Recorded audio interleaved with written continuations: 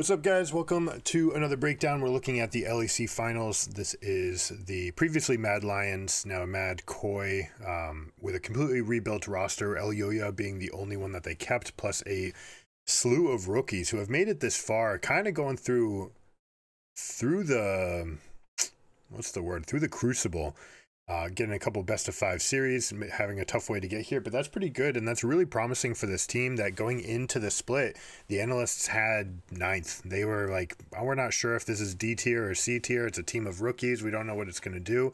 And here they are in the winter, in the winter finals. So, uh, G2, we always expect to be there. Caps is the best Western player that we've ever seen.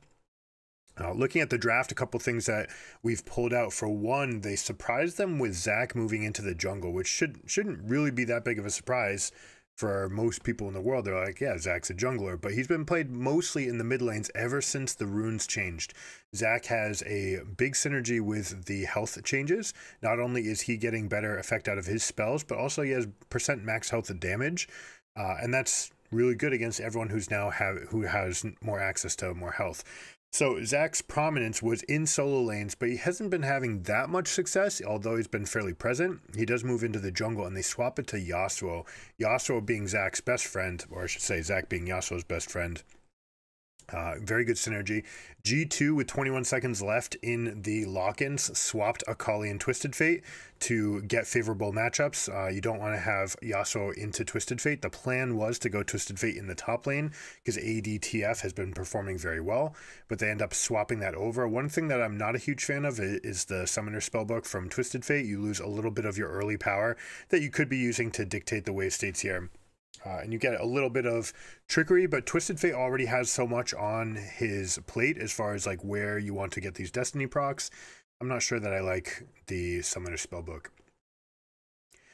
Vi has some very traditional synergies here. You've got AD, Hard Engage Jungler to pair up with Akali and Twisted Fate. This is a very nice put together team. And you have Senna and Nautilus. Senna being the farmer here. Uh, not I'm, ne- I'm just never going to be a fan of farming Senna. While the stacks are working the way that they are, she takes too much of a hit and she's too much of a shell of her champion, and she has a miserable lane phase. Uh, you really, it's it's mandated the type of supports that you need to play with. You need to play these beefy supports that can just stand in in front line. And there are a lot of issues that come with that. You're seeing one of them right now, which is being pushed in by the Varus Rell allows Zac to go three camps into an invade. Now, Yike does get the smite, which is going to save him in this situation. But you can imagine if Zac actually gets that, we're talking about a game breaking snowball happening right here.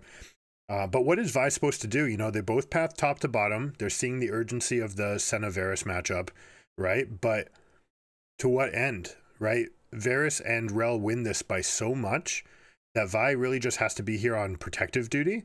Zac can engage whenever. Uh, the range on the E's can be fairly low until level 5. That's when you're going to start being able to jump over some meaningful walls. Level 4 is okay, but you still can't get everywhere that you want to. Uh, but based on the Raptor Steel, taking these camps, taking the Scuttle, we're going to see a level 5 Zac approaching uh, for the Grubs if they decide to go for that they may decide to just keep on camping the spot side to get Varus super far ahead. Super far ahead, even. What else do we have going on for the team? So, triple melee to pair with Senna. That's kind of the way that you have to and want to build her. Hold on, we'll take a look at this dive. Uh, Alvaro taking up the maximum using the new synergies with the unflinching and bone plating, most likely, uh, and off uh, aftershock. I didn't see the exact runes, but almost always we see that bone plating, unflinching synergy. So if you do get locked down, you just take mitigated damage in these 2v2s. Zac should look for a repeat gank here. Uh, totally unafraid to die. Now, Supa actually took the aggro first. I don't like that play necessarily. So, uh, I do believe Elyoya still has his passive, which he easily could have used right there. Uh, yeah, Mickey does not win this. He does not have enough damage. Now, Supa's coming in. It looks like he's going for the minimum. No, he's going to wish he had that one back just taking a moment. Like it's less important to get that kill than it is to just walk away from this situation right? The wave is crashing and no one from g2 is picking it up. So it is still a massive win. You see a 1k advantage for for the mad lions. Uh, and they're going to have some residual effect right here with this wave bouncing back out. You see how when you get kills in a dive it's always worth right? But is it the most worth? You can sometimes get better. Great play by mickey right there. Goaded hook But look at all these minions that are disappearing right now. No one's getting the cannon. Nautilus doesn't even get the cannon. Then all of these uh, minions are being taken away. Now, Supa, he could just let this sit. Getting the trade, it's okay. Honestly, it's the fastest way back to base uh, for what it's worth. But giving that kill back, especially after getting those, you don't necessarily want the Nautilus to be any stronger because he could show up with boots and start actually giving you a little bit of um, pause when you get to these situations, especially when you're up an item in the Rell versus Nautilus situation. Uh, Nautilus can be a little bit more tanky. Now, this is the correct answer from G2. Uh, it was crashed. You had a stacked wave pushing out. The best response is to proactively go and crash with numbers. Uh, so they do that and they actually push past the wave. So they're actually bringing it right back. This is a wonderful play by G2. This is not something that you see in uh, not even many world's caliber games, right? They don't do this correctly. Uh, you can take a bad situation and turn it into a good situation by making the right moves proactively. End up getting a lot here, but they are going to give some back. So we've got a slobber knocker right here, 6-2, 2k gold lead in, in favor of Mad Lions. With the gold lead, they really can opt to play however they want. Uh, Yasuo's got this winning matchup. It is a skill matchup, but a little bit easier for the Yasuo to play than the Akali, less resources to manage. And every time that a Akali goes for a Q plus an E, then you can punish the low energy bar and try to go for a bit of an extended trade. That is always going to be good for you. You really want to hit that stun, obviously. You know, I say that, but you could have just kept on walking up. There's no real good path that he could take and not getting this consolidated kill early means that you're you're dealing with the extra damage coming out. And this is this is where the execution could have been a little bit better. It looks like the team had some miscoms as far as how strong they should be coming back in this situation. But as played they end up with what one kill for three deaths? Is that it? Four deaths? Four deaths so the idea is right. Execution needs to be a little bit better. Orianna is going to be massive in these games. Very hard to play as G2 for the rest of this game. The only place that you can look for strength is up in the top lane. Now, Akali does have tons of kill pressure, and you're going to see her spiking her build to uh, go in that regard. You also see Yasuo, who would be buying Berserker Greaves anyways, uh, but absolutely is going to want the modal effect of offense and defense of move speed here. Vi should be focusing everything possible here. Ooh, a little bit of a miss there by Akali. Tries to use her R as a way to buffer past the arriving blob, slamming her down, but it's just slightly too late. Would have been a neat, neat little play. Ends up getting out, so she'll be okay. Myrwn trying to step up, trying to like, mmm, look at this, beautiful. Uh, all right, you you know why you do this, right? Look at the teleport timer on Akali. They know she has no teleport. The minions are all dying to the turret. There's no real effect to go for here, and they have information on Vive. Zac's also in the top lane already, so you're very safe as a Yasuo. Perfect opportunity to get a proxy farm off and to delay the back. So now Akali is looking at missing three waves, right? The double stacked crash wave coming in, plus the one that she already missed while while Yasuo stopped them, and now the fourth wave up here. So this is a massive rut that that the Akali is going to have to get out of. And this is supposed to be their last bastion, right? I don't like Yike playing towards bot side, trying to bail out Senna. you you should really be trying to move over to the Akali here. But now she's so far down in experience uh, that we're going to have some issues in that lane as well. Love this play by Elyoya. Um, you, we saw a little Zac mechanic there too. Q into uh, auto flash. I'm not sure if the auto on Zac is considered to be an empowered spell the way that other empowered spells are, as far as not being able to be canceled. Uh, I imagine that it is because it's part of a spell effect, but by going auto flash, that means that you're going to get the fastest possible attack off to get the sling the elastic rebound. Sometimes when you're a little bit slow, you can see them get away. These guys are obviously not slow, but buying every single quarter second or even, you know, 0.025 of a second is going to make a difference for them. Uh, so Elyoya using the elastic slingshot and into the immediate flash auto there. Very nicely done. So now the entire map belongs to them, right? They're up almost 2k. and it's spread out all over the place, right? The only person who's even slightly behind is Rell, and Rell doesn't care. She's got her Merc Tread. She's happy to be an engager for the team. She's going to be more than tanky enough. She's going to try to out Mickey Mickey by absorbing as much pressure as possible and then allowing the team to deal massive damage. Uh, this gives us a chance to look at the team fight composition, right? What are we trying to actually accomplish with these goals? Well, it's very easy on on Mad Lion's side. We've got Zac with Yasuo. That's going to be fantastic in and of itself. We've got Rell and Orianna with Yasuo as well. And we've got Rell and Zac being ball delivery systems. So this is a Wombo team fight. They can use Varus as engage. He's a lane dominant champion who can get a lead for himself. And then he's going to transfer transition into uh, an engager for the team, right? His R is actually going to be a source of potential engage.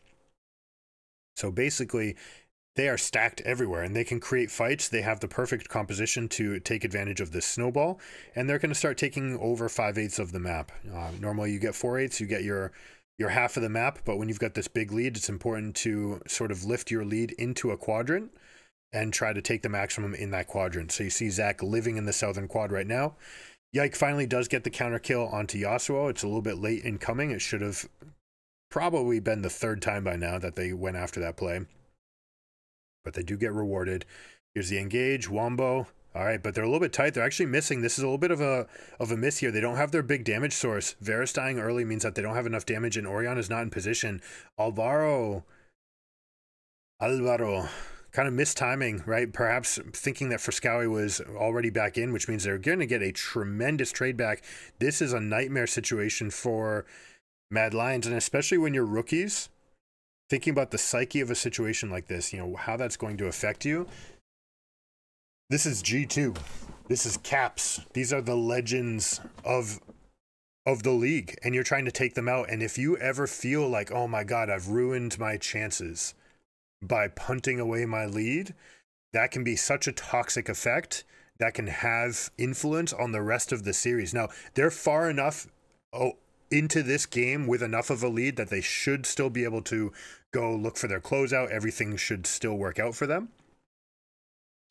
Uh, but we'll see how much of an effect that has on the psyche. Also, you know that G2 is going to get the confidence boost going into game two. It's like, all right, they are capable of making mistakes. They're not just like playing on another level that we don't understand. We can, they, they will make their mistakes. We are the champs. We can get them back. and with the experience of veterancy, right, you should be able to rebound. So what what you can do in these situations, if you're feeling yourself being caught up by the moment, right, and really it's any time that you think about the moment rather than the task at hand, that's when you have a chance to make blunders uh, in these games.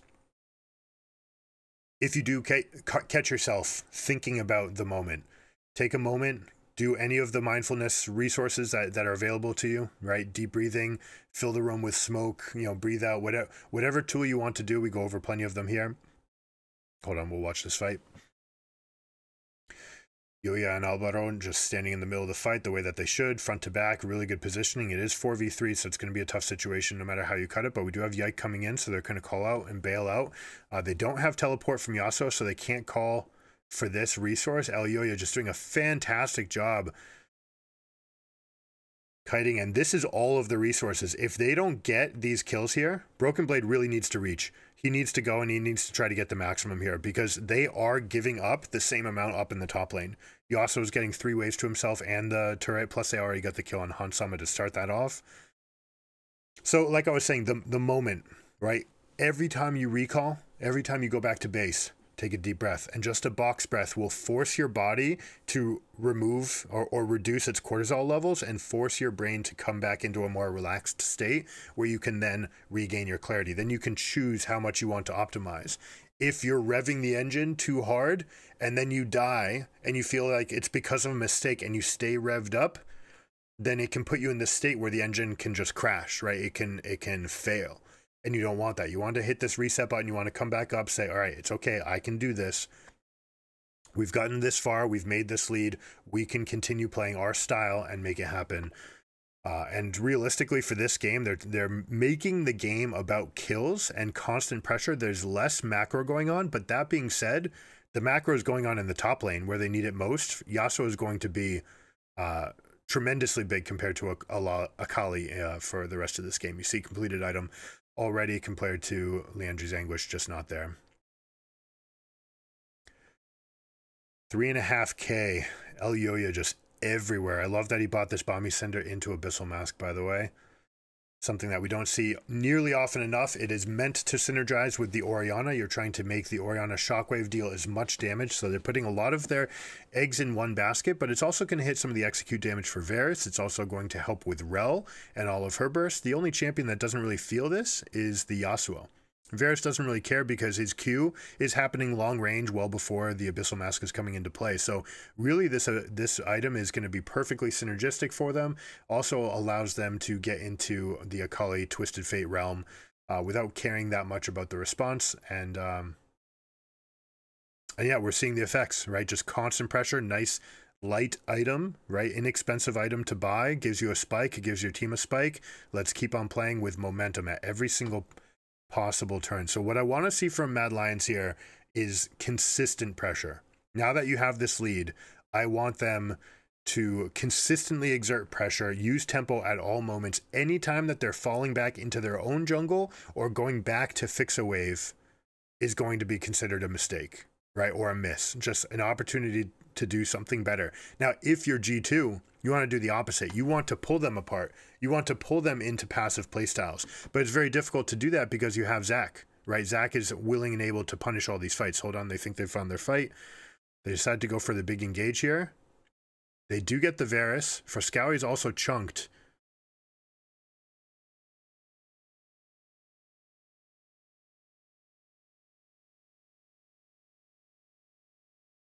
The positioning here. Elyoya just standing right in the middle of everybody. He is going to finally blob out. G2 gets another one back. And this is going to happen when you when you are constantly exerting pressure and we'll call it flipping coins. Even if you're weighted 70% to fit to win, you are still going to have losses. Right? Now, in a skill game with perfect skill expression and no chance, then yeah, you can you can turn that 70% as close to 100% as possible. But you see this interaction right here. Nice job by Zac landing right on the spot, but this is enough to get the chain CC, everything used onto him. And they're a little bit late on the rotation here. How did, I didn't even see how Orianna took all this damage. It's just from Akali. All right. Yeah, this is the Akali versus Orianna matchup that you're generally looking for.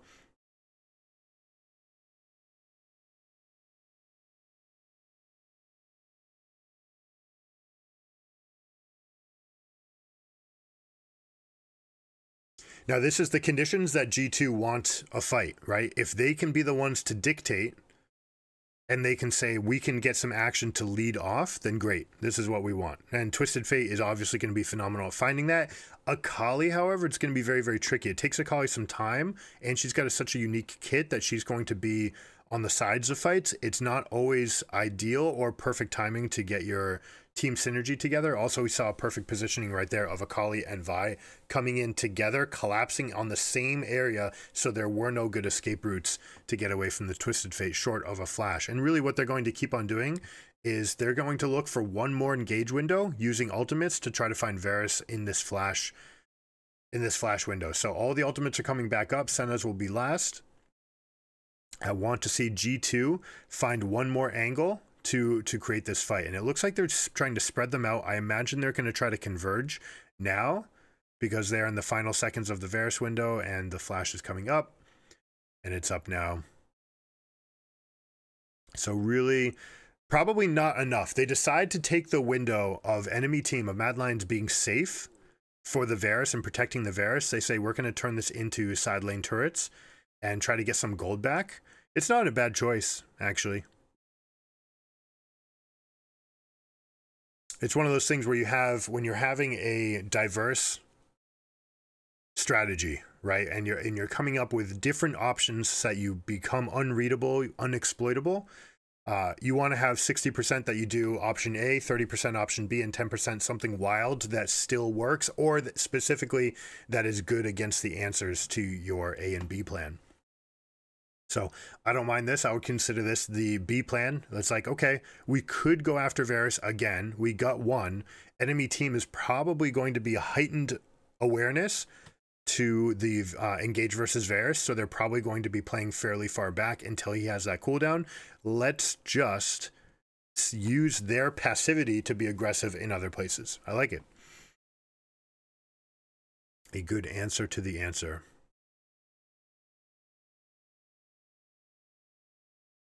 All right, is Mad Lions going to be able to collect themselves? They're up 3k. They still have enough of a lead. They still have the Wombo. Uh, Senna will outscale Varus individually, especially Varus going for this lethality build. Senna's going to continue getting the scaling from the souls.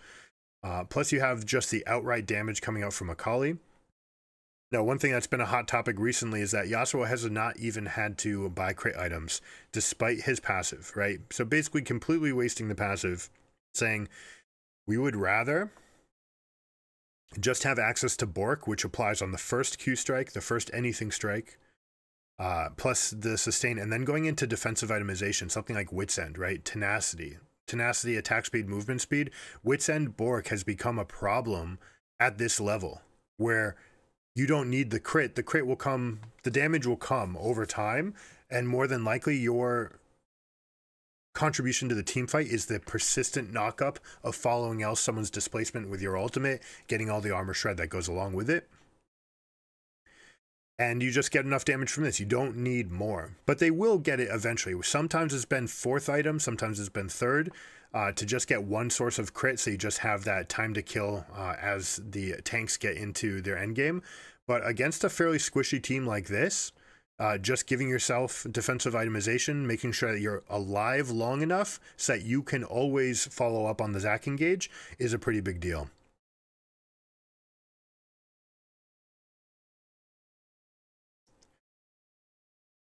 All right, Mad's trying to turn their lead into dragon stacking.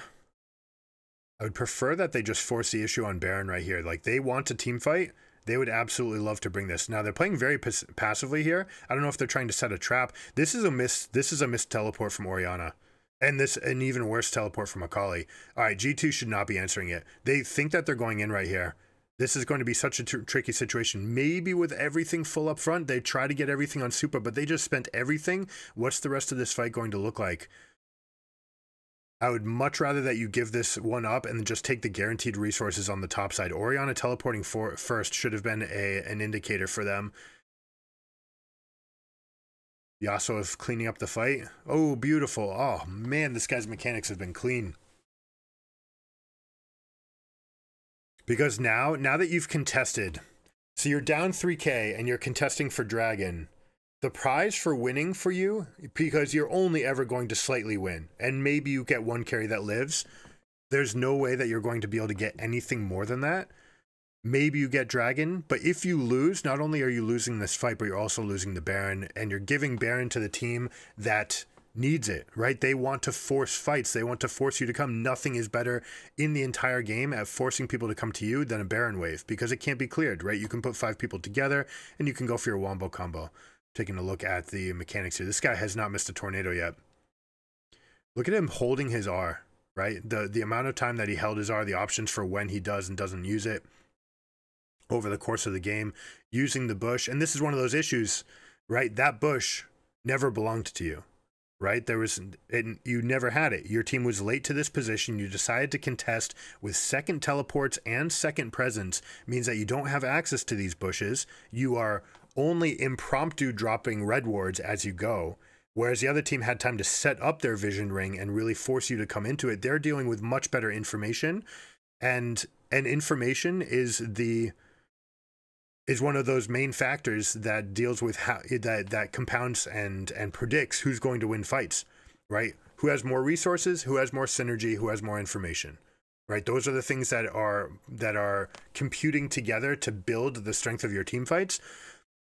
And now and now G2 has no good place. Imagine instead if Akali had just continued to push. Right? And this is something that Falco talked about in the pregame interview. The opportunity for Caps to not come teleport to answer an Orianna teleport for a team fight. Uh, I believe it was against BDS, and instead staying to kill the second turret. And Falco talked about that being as a as a um, what's intentional the intentionality of that play. That he wanted to get the team to not take every fight because yes, we are good at fighting and, and we want to continue to practice our fighting so that we can beat Eastern teams eventually. But we have to be willing and able to take the right play when it's available. And sometimes that play is just continue pushing. And Azir uh, Caps was applauded for not joining, letting the team just move back, not taking the fight, and you get the huge bounty on that inner turret. They had the same play available to themselves this time, and they opted not to do it. It's kind of bizarre. It kind of shows that under pressure situations, teams are more likely to revert to their original playstyle. Whatever their identity is, people are always, always going to revert to what feels comfortable in stressful situations. That can be exploited. And if I'm playing against G2, even if G2 thinks that they're the big dogs, like they might feel some pressure here losing game one. And they might say, all right, no, all right, let's go back to what works. And that's a dangerous thing when you actually pigeonhole yourself and work your way back into a corner where now you become predictable. Then you can actually compound losses and turn them into something else. Because if you lose after audibling back, now it's like, well, plan A wasn't good enough, plan B wasn't good enough, maybe we're not good enough. And that's a very dangerous line of thinking to get caught up in.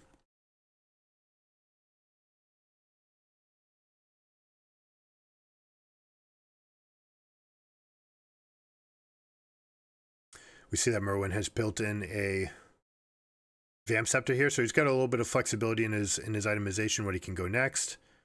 Uh, I'm surprised by the extra Vamp. He already has the Bork. He's saying that this is what I need based on the extra tenacity. I'm going to have enough uptime that I can heal, I can drain tank my way back up in the fights. All right, let's look at their technique for the push here. They've got no more Baron, um, but they've already controlled the entire western quadrant and they've pushed up the middle and top lane turrets all the way to the base. This means that they get to choose their engage when they go. Twisted Fate is not showing. Now the situation is much different. You're losing permanent structural damage as opposed to Dragon 3. This right here, we're looking at checkmate from from Mad Lions, and Twisted Fate is trying to make the exact same call that he did against BDS, which was to not come uh, but the difference is the amount of time. How much time have you given them? They're basically two turns further ahead. They've got a bigger lead than BDS had, and they're progressing all the way to the base turrets, not just to the inner turrets and top lane. So, whereas you could have traded inner turret for inner turret and you'd be happy with that, or earlier, Akali trading the top lane inner for dragon number three, you'd be okay with that. In this case, trading the inner for inhib, not worth. Uh, and there's not really that much they can do about it being down 10k. Uh, there's they can only hemorrhage gold. One of the best things that they could have done is completely ignore the push, only try to clear the wave. Don't try to engage into any fight. Try to take structural advantages in the mid and bot lanes. But by trying to posture for maybe a defense here, you end up just giving the maximum. They get two kills and they force your your twisted fate teleport now anyways right? Can, compare that to let them get the inhib don't even defend that turret. Force them to come all the way to your double structures which is way more dangerous way harder to dive and then say bring the fight in here. So let's see if you can deal with the pressure inside of our base. You don't have a way out through the mid lane and you can't just stay here forever because there's two turrets hitting you right? So you can up the pressure on them try to overload their mental stack, try to get them to push even further down in where it's a little bit less comfortable, especially for rookies, and say, do you have the mental wherewithal to to survive this? Now, coming up with a plan like that on the spot, very, very difficult. But using visualization, using theoretical practicing, uh, you can recreate those situations in your mind. And hopefully, if you get some in houses, especially as well, you can rehearse that situation. You can play out a game and say, all right, we've played out this far. We've gotten 25 minutes into the game. Rather than play to win from here on out, I want to create simulations. Let's create things that might happen in the game and practice this decision tree so that we're very rehearsed on it. Instead, we end up with some fumbles. They hemorrhage more deaths. Uh, and now their only option is to try to F their way out, you know, flash their way out flash engage. They try to go for everything, uh, maximum damage. They just can't do it though, especially this far out the base. Again, Yike is trying to find that window and saying, hey, I have to engage. I'm running out of opportunities to do it. But you're doing it outside the turret range, which means that you're going to deal with the full brunt of the wallet. So Uh, very well done by Mad. A couple slip ups. We'll see how that does going into the rest of the series. But you can see how pumped they are. Look how they explode out of their seat in the jungle top. They're feeling super good. Elyoya, massively pumped. You know how much this means to him because he's carrying these rookies along for for the ride here. And and if they can beat G2, that's going to be a huge huge confidence boost. But beware. This level of adrenaline is going to kick up. You've got some downtime 15 minutes before the next game. You have to rewind, bring yourself back down, bring yourself back to the optimized state where you are nervous a little bit, but you are anxious to play well, but not on overdrive. Uh, and we'll see whether or not they're able to do it. There were a couple mistakes. We saw that the roller coaster ride can kind of do that to you. We'll see whether or not they end up with a big plummet for the rest of the series.